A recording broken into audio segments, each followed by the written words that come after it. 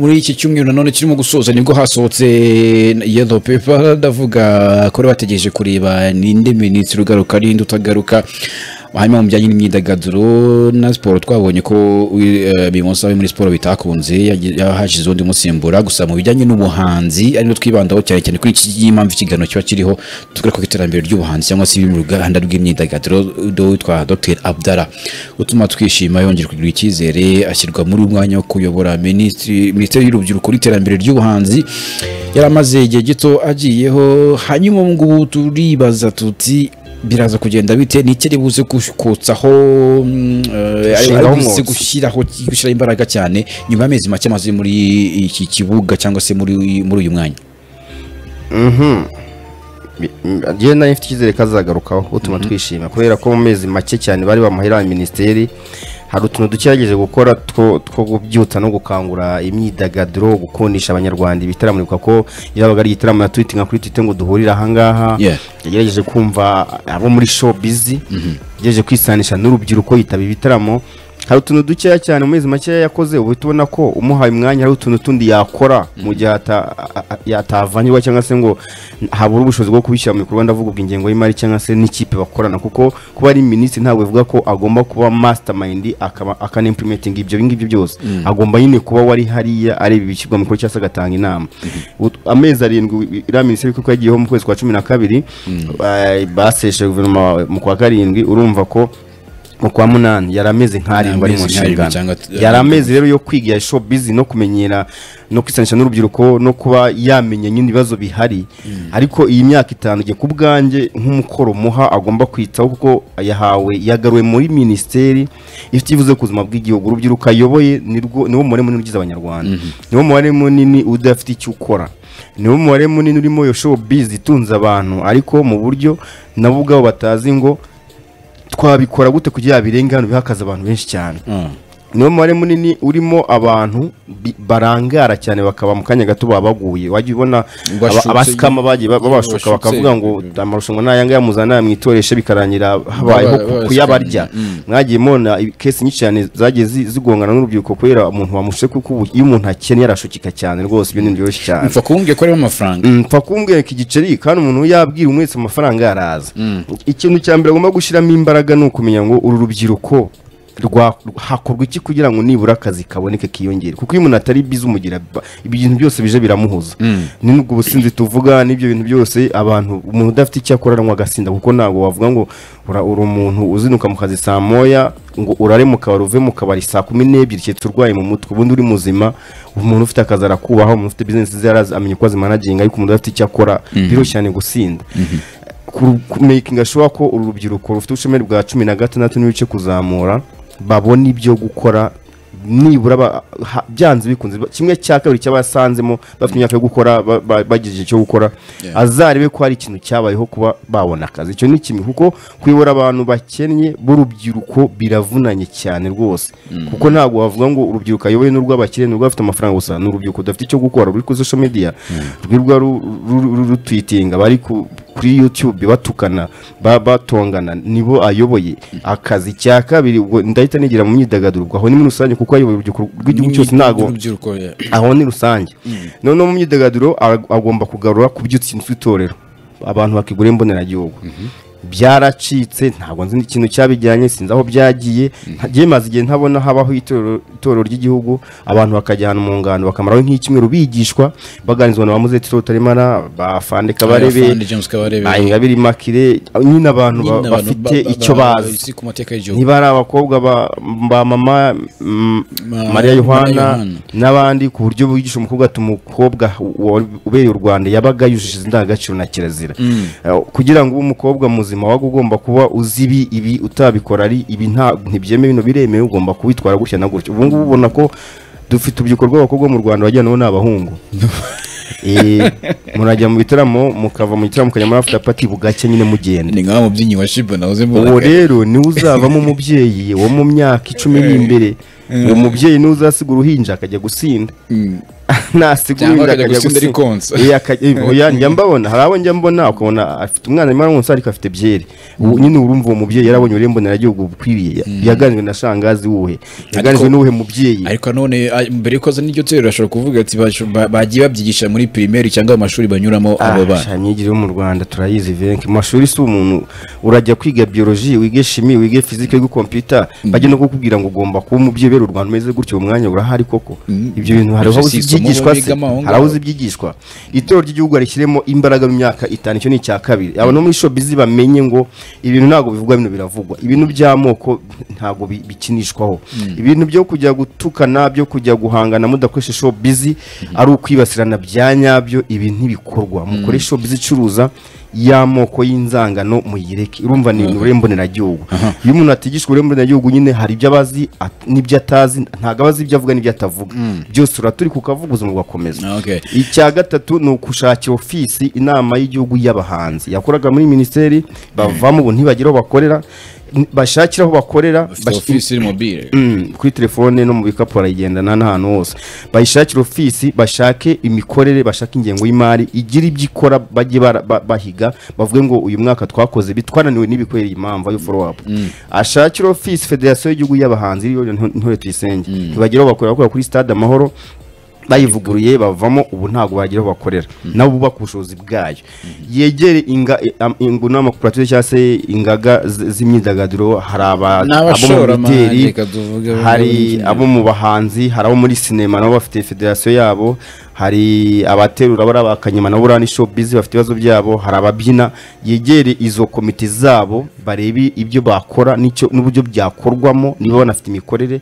Noneho bako imyidagaduro y'u Rwanda ifatika itanga akazi kuko imyidagaduro irimo uburyo bwo gutanga akazi ariko ntabwo biri mu cyuka nyine biri mu cyuka. Hanyuma Clement uh, Punit yaravuze ku bijyanye n'itorero ry'igihugu yaravuze ku kujya mu ngando nyine ka tubivuge gutyo. Aya matiku uh, minisiteri iraza guhangana na yo gute? Cyane ko ngubu ni menshi yavugirwamo byinshi nawe ubwigeze gutwitinga mu minsi yashize twanabigarutseho uh, ahamagazwe rw'ubugenzacyaha ngo rubikurikirane abandi bavuga bati ni minisitiri wagombye kubikurikirana nawe ubwe agaragaza ko yabyumvise. Ibi ngibi baraza guhangana na byo gute muri iyi myaka itanu ari ajye kuyobora iyi minisiteri y'urubyiruko n'iterambere ry'ubuhanzi? Mm, mbere na mbere eh, namubwira felicitation. Yego. Namubwira felicitation eh, kuko kugaruka muri iriya minisiteri ntekereza ko ari eh, icyemezo umukuru w'igihugu yafashe kandi amwizeye. Kuko nta byarashobokaga ko atanagarukamo kandi ntihagire n'ukomplayininga cyangwa se ngo ajye avuge ngo kuki ataje kuki ataje. Eh, icyo ni kimwe. Icya kabiri eh, kuba agarutse muri minisiteri y'ubuhanzi ubuhanzi ifite ubuhanzi mu nshingano ubuhanzi bwacu bufite ikibazo gikomeye cyane mbere na mbere ashobora no kubanza agatekerezaho cyane nka ririya tegeko riheruka ryo gufata ibihangano by'abahanzi bagashaka kubikorerwa mu nyungu za leta ngo nta kintu bishyuje cyangwa se bishyuye ibiriya ni bimwe mu bintu bibangamiye ikintu cyitwa ubuhanzi. Icya kabiri ubuhanzi bwacu burarwaye. Kugeza n'ubu ngubu ikibazo his excellence yatanzeho umurongo akagitangaho umucyo n'inama na n'ubu cyananiwe gukorwa. Niba abahanzi batari babona uburyo ki bacuruzamo ibihangano byabo ari ugupfa kuyishyira kuri youtube z'abanyamahanga ari ugupfa gushyira aho ngaho iki byose. Akayishyira ku muryango atazi turacyafite icyo cyuho muri industry yacu. Icya gatatu niba ah, minisiteri y'ubuhanzi ah, nk'uko pundit yavuze abahagarariye iyo deparitema nta ofisi bagira icyo ni ikindi kibazo.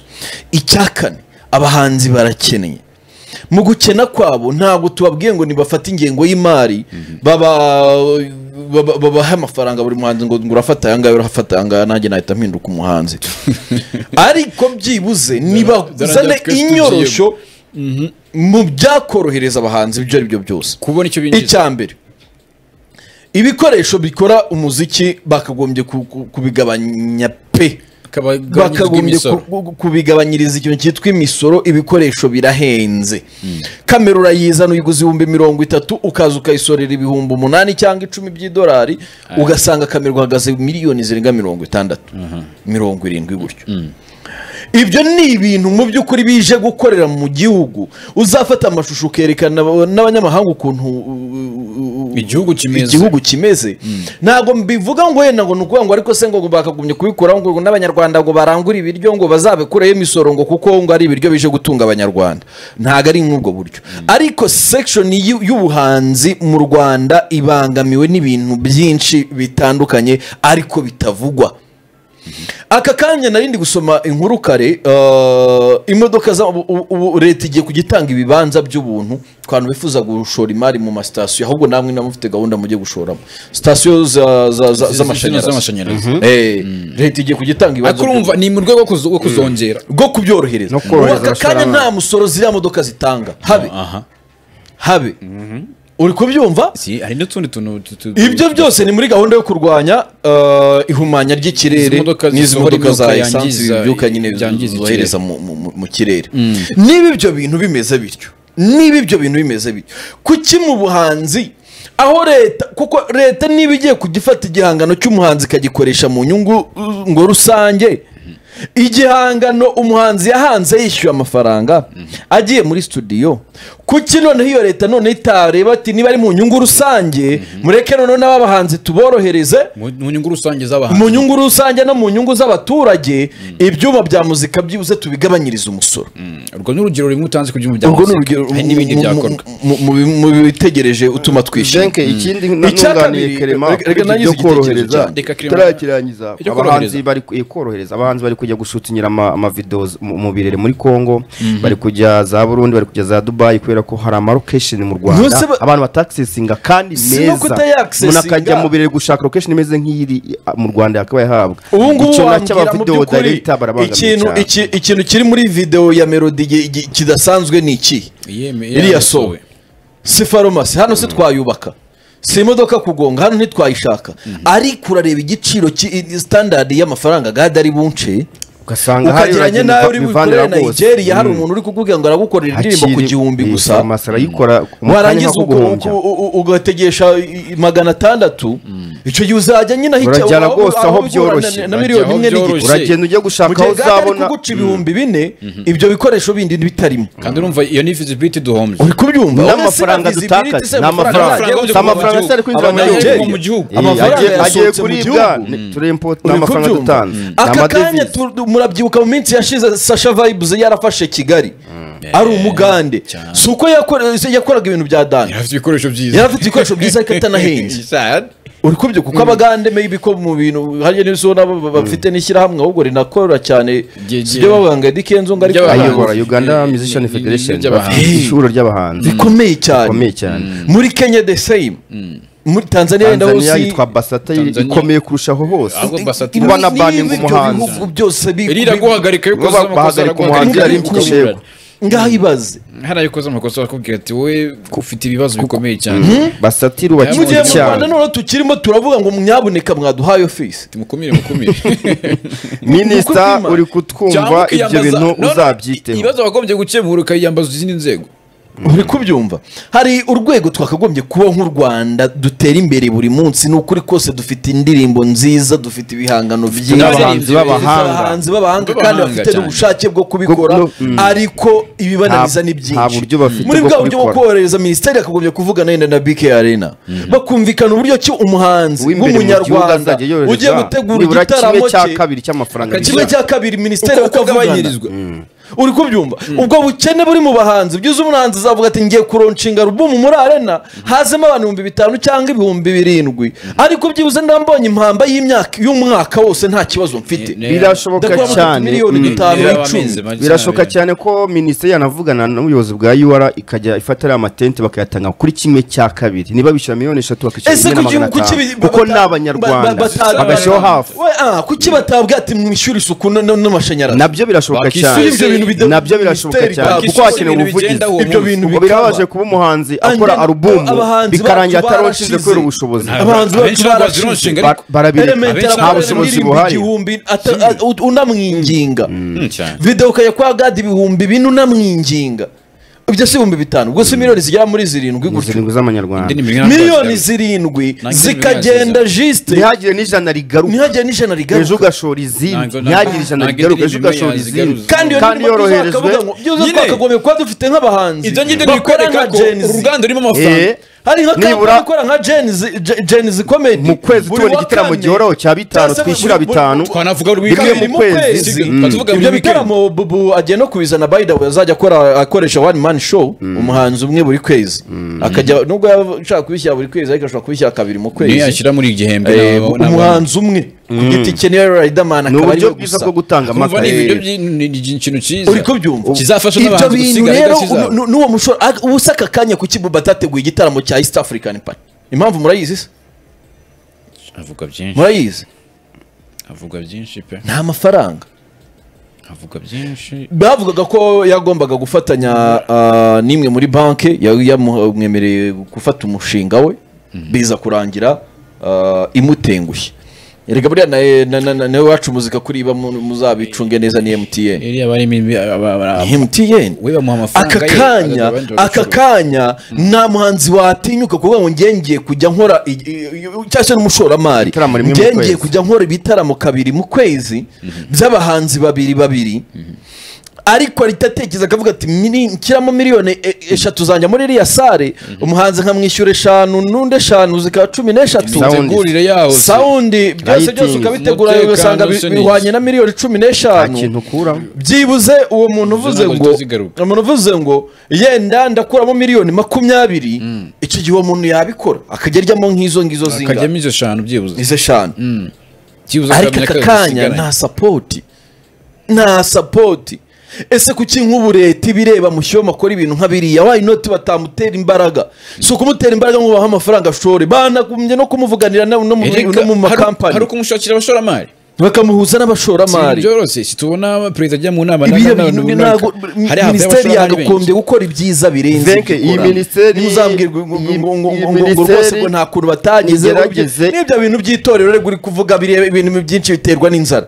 Umuntu arabyuka yabura akavuga ati punditi wantuza None.